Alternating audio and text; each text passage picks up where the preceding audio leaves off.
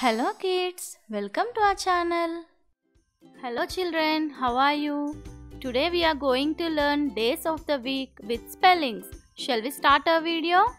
S U N D A Y Sunday M O N D A Y Monday T U E S D A Y Tuesday W E D N E S D A Y Wednesday. T H U R S D A Y Thursday.